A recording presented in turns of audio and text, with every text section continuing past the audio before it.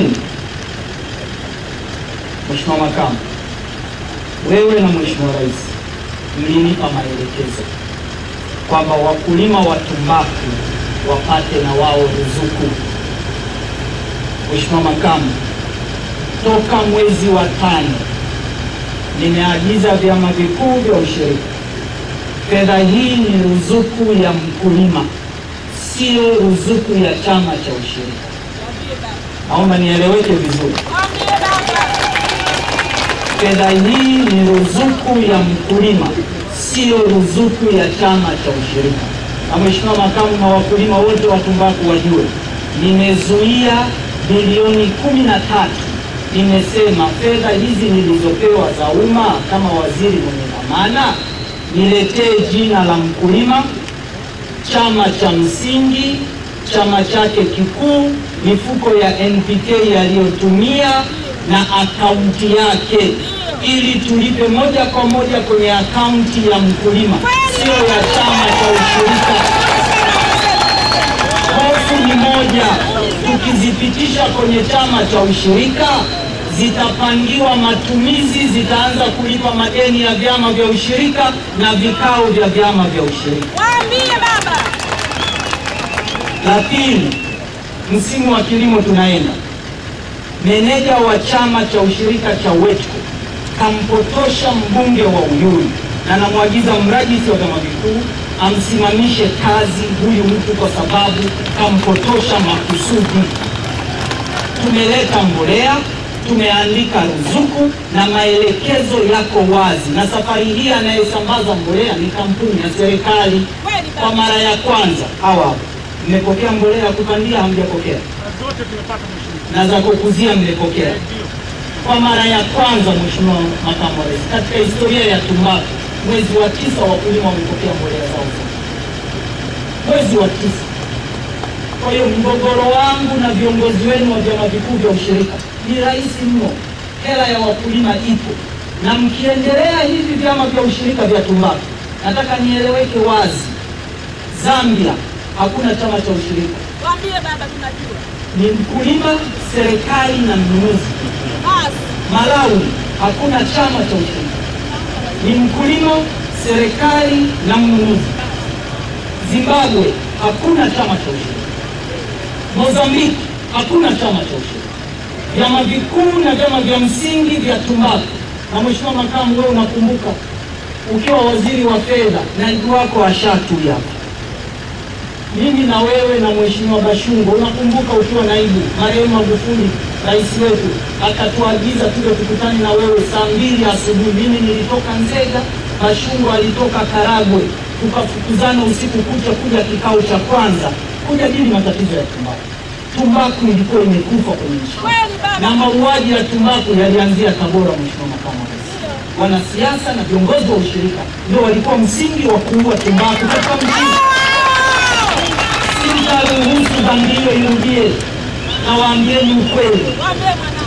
Mheshimiwa Makamu, hapa tuliposimama leo, mwaka elfu mbili na kumi na tisa ishirini walizalisha tani elfu tatu tu ya tumbaku na ilikuwa haina mnunuzi. Unakumbuka wewe mwenyewe ukatoa concession ya kufuta misamaha ya kodi na misamaha ya faini za Morogoro, na tukaanza mchakato wa mabadiliko ya sheria ya FCC ili kurudisha hii sekta. Mungu si atumani, Mheshimiwa Rais kaingia madarakani, na wewe kwa sababu ulihangaika nalo ukiwa na waziri wa fedha, ikawa rahisi kutatua matatizo. Leo wilaya ya Uyui wamezalisha jumla ya tani elfu kumi na nne na mapato yao ni dola milioni thelathini na mbili katika wilaya. Nawaambieni wetu ukweli mbele ya makamu wa rais, nitawafuta Waambie baba. Waambie ukweli mbele ya makamu wa rais. Hatutaki. Leo Mheshimiwa Makamu, nimemwagiza mkuu wa mkoa wa Tabora kwa ndugu yangu Chacha, kampuni ya Volkswagen hapa. Mheshimiwa Makamu, wanunuzi walikuwa wanafanya ugumu, mkulima anavuna mwezi wa tano, tumbaku inanunuliwa mwezi wa kumi na mbili. Ule kipindi chote uzito wa tumbaku unapungua, hasara anapata mkulima. Tukabadili mfumo, nikasema mnada unaanza Mei, wa saba tumbaku yote hiyo imenunuliwa. Kweli baba, kweli. Leo ni msimu wa pili, kweli sio kweli? Kweli. Mwezi wa saba wa nane tumbaku yote imenunuliwa na wanunuzi. Nikasema ni marufuku kampuni yoyote kufika Oktoba iwe haijalipa wakulima. Hapa najua Volkswagen hajamaliza kulipa vyama viwili, anadaiwa jumla ya cham, chama cha Ibera Malundi anadaiwa dola laki nane imebaki na Burundi anadaiwa dola laki moja na elfu hamsini. Tumempa ultimatum tarehe kumi na tano awe amemaliza fedha hizi. Asipomaliza, mkurugenzi wa bodi ya tumbaku ile pale, hakuna kumpa leseni Volkswagen akafanya biashara nchini. Sasa hivi hatuhangaiki wa kumuuzia tumbaku, watafata utaratibu wa serikali. Tumesema vyama visaini mikataba ya miaka mitatu na wanunuzi, sababu ni moja, mheshimiwa makamu. Chama cha msingi ina nidhamu, ni mimi mkulima naenda benki nakopeshwa hela ya mabeli ya kuweka mabani na vitu vya namna hiyo, ninalilipa lile deni, mheshimiwa makamu, ndani ya miezi mitatu au minne mitano, lazima nilipe msimu huo huo. Kwa hiyo mkulima anakopa, akivuna anauza, akiuza analipa deni lote 100%. Tumekaa na mabenki wamesema, mheshimiwa waziri, mkitengeneza mfumo wa mikataba ya miaka mitatu, wakulima tutawakopesha kwa miaka mitatu, badala ya kila mwaka anakopa analipa asilimia mia, na tutatumia riba ya asilimia tisa ya kiserikali ndiyotuelekeza. Sasa nini kinatokea kwenye tumbaku hapa mkoa wetu? Kulikuwa kuna miundo ndogo, sihitaji jina kampuni, halafu yenyewe ndio inawapa mikataba wengine. Sasa baada ya kufungua soko na hali kuwa na hii, nataka niwaambie viongozi wa AMCOS, AMCOS yoyote kufika tarehe kumi na tano haijasaini mkataba na mnunuzi, tunavunja bodi ya AMCOS, tunajiondoa. Wanapeana rushwa na baadhi ya makampuni ili kuvuruga mfumo wa miaka mitatu, na baadhi ya viongozi wa kisiasa. Na kwa nini mheshimiwa wanagoma?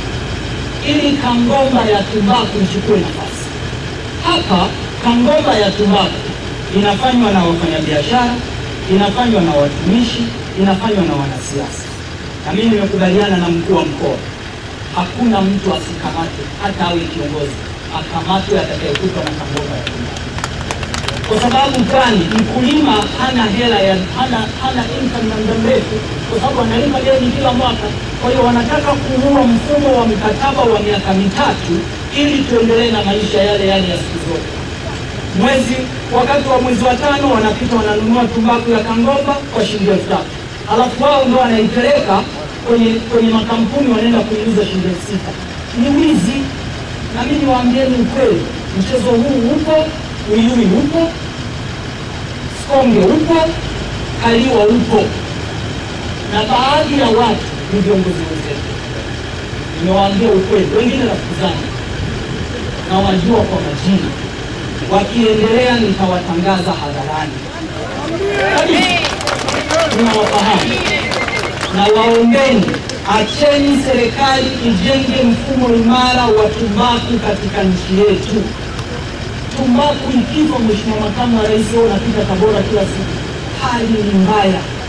Leo tunakata miti, nimeyataka makampuni yashiriki kwenye ujenzi wa mabani ya kisasa ambayo yatatumia miti kuni chache na tutatumia briquettes na tutatumia makaa ya mawe.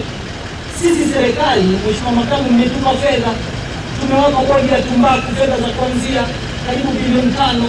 Nimeambia makampuni kila kilo utakayonunia utakayonunua ya tumbaku utachangia mfuko wa kujenga mabani kila kilo utakayenunua ya tumbaku utachangia shughuli za upandaji wa miti. Kila kilo ya utakayenunua ya tumbaku utachangia shughuli za ugani. wa hoja yao ni moja, mimi siwezi kumhudumia chama cha msingi alafu mwaka kesho iko chama hakipo kwangu. Tuwe na mkataba wa muda mrefu, kwa sababu bei inaamuliwa na Tobacco Council chini ya usimamizi wa serikali. Leo bei imetoka dola moja mpaka dola mbili pointi tatu ndani ya kipindi cha miaka miwili. Niwaombe wakulima, msidanganywe na watu, endeni mkasaini mikataba ya miaka mitatu, maslahi yenu yatalindwa na serikali, kwa sababu ndio jukumu tulilopewa. Nawaomba sana.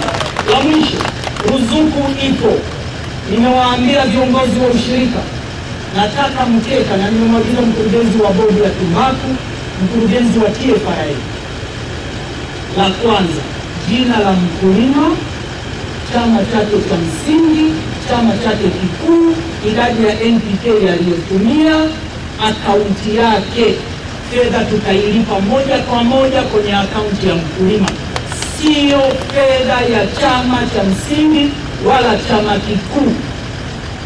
Na huko tunakokwenda, mfumo wa malipo ya wakulima tutayabadilisha huko tunakokwenda, kwa sababu fedha zikienda chama cha msingi wanakaa nazo. Mkulima kauza labda mwezi wa sita, fedha zimelipwa mwezi wa saba, wanakaa nazo mpaka wanane wa tisa, hawawalipi wakulima moja kwa moja. Collective responsibility, usemi kakopesha tumbaku, deni analipa dokta Mpanda. Haya lazima tuyabadilishe na sisi tushirikiane kuyabadilisha. Mimi nakuwa mkweli kwenu na kwa nini mheshimiwa makamu nakuwa mkweli? Kwanza, hamna political risk kwangu, hamna hatari ya kisiasa. Almasi ange- angetafuta lugha ya kuongea kipolepole. Mimi kule mjini hatujui mti kwa hiyo sina mpiga kula wa- AMCOS atakayekasirika mzee wanaanzia huku. Kwa hiyo mimi hawa ndugu zangu na wafahamu, nikuhakikishie mheshimiwa makamu, tumetoka kilo tani elfu kumi na sita miaka mitatu iliyopita mkoa huu.